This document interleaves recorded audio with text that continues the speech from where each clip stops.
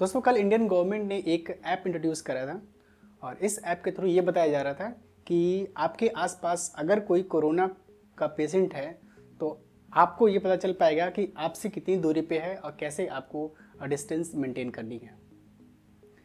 और इसका जो है, आज ऑफिशियली गूगल प्ले स्टोर पे और एप्पल स्टोर पे ये ऐप को लॉन्च कर दिया गया है और ऑलमोस्ट सभी ने इस ऐप को इंस्टॉल कर लिया अपने फ़ोन में। अगर नहीं किए हैं तो कर लो आप। लेकिन हमारे एक मित्रगण हैं, उन्होंने ये कहा कि, और भी मतलब मेरे कुछ व्यूवर्स हैं, उन्होंने कहा कि अगर ऐसे में कैसी ऐप पता करेगा कि हमारे आसपास कोरोना पेशेंट हैं? तो मैंने कहा कि जो है डेटा गवर्नमेंट के पास होती है। वो डेटा बताएगा, उस डेटा के बेस पे हमें पता चलेगा कि हमारे आसपास कोरोना पेशेंट है कि नहीं है। तो ऐसा है कि उन्होंने कहा कि अगर गवर्नमेंट को पता चलेगा कि ये कोरोना पेशेंट है तो क्या उसे ऐसे खुला छोड़ देगी? उसे क्वारंटीन कर देगी या फिर हॉस्पिटल में एडमिट करेगी। तो ये वाकई में एक अच्छा क्वेश्चन है। तो कैसे पता चलेगा कि जो है, कैसे इस ऐप के थ्रू पता चलेगा कि हमारे आसपास कोरोना पेशेंट है और इतनी दूरी पे है? तो इस वीडियो में मैं यही क्लियर करना चाहता हूँ। पहले अगर आपने इस ऐप को इंस्टॉल नहीं किया तो फटाफट आप ऐप को इंस्टॉल कर लो गूगल प्ले स्टोर से। अगर आप आईओएस यूज़र हो तो एप्पल स्टोर से आप इसे इंस्टॉल कर लो। जब आप आरोग्य सेतु एप्लीकेशन को अपने फ़ोन में इंस्टॉल करोगे और जब उसे रन कराओगे तो उस केस में तीन चीज़ें कंपलसरी होती हैं। पहला मोबाइल नंबर फिर आपका ब्लूटूथ डिवाइस ऑन होना चाहिए, फिर आपका उसमें जीपीएस यानी लोकेशन ऑन होना चाहिए।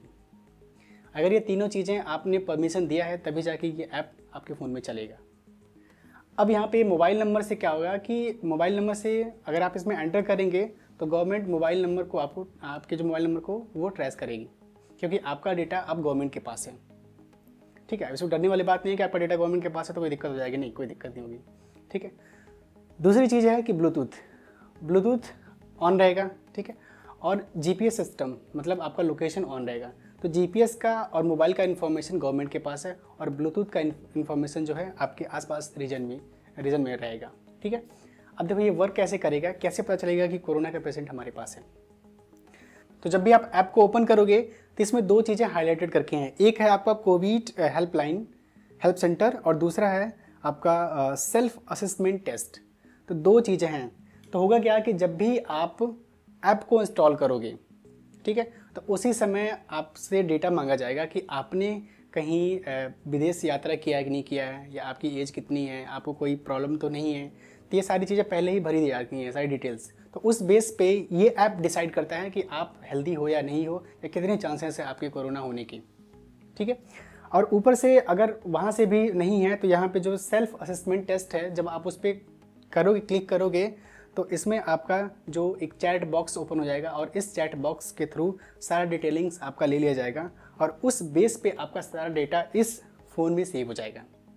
अब आपका फ़ोन का ब्लूटूथ ऑन है और जीपीएस ऑन है मोबाइल नंबर है ये। तो मैंने आपको बताया कि मोबाइल नंबर और इसका लोकेशन जीपीएस सिस्टम से गवर्नमेंट आपको ट्रैक करेगी। और इसका जो ब्लूटूथ है ब्लूटूथ का जो रेंज होता है वो टेन मीटर का रेंज होता है maximum ten to twelve metre का। तो अगर इतने रेंज में, अगर कोई भी आपका ऐसा डिवाइस है, जिसमें ऐसा डेटा सबमिट है कि वो संदिग्ध लगता है कि कोरोना से हो सकता है, या ऐप में ऐसा बताया गया है कि आप जो है सेफ़ नहीं हो तो ऐसे में लगेगा आप में मैसेज आने। इंडिकेशन आएगा कि एक कोई ऐसा बंदा है आपके पास में, आपके इतनी मीटर डिस्टेंस पे, जो कोरोना से संक्रमित हो सकता है या उसमें ये प्रॉब्लम हो सकती है। तो आप उससे डिस्टेंस मेंटेन करो। तो फटाफट अगर ऐसा केस आपको दिखता है तो आप यहाँ पे कोविड नाइन्टीन का हेल्पलाइन नंबर है, उस पर आप कॉन्टेक्ट करो। आप जिस भी स्टेट से हो। तो यहाँ से आपको ये चीज़ क्लियर हो गई होगी कि कैसे ये ऐप जो है वो आइडेंटिफाई करता है कि कोविड नाइन्टीन का कोई पेशेंट आपके पास है। ये डेटा, इसी डेटा के बेस्ड पे ही ये पता करती है ये ऐप।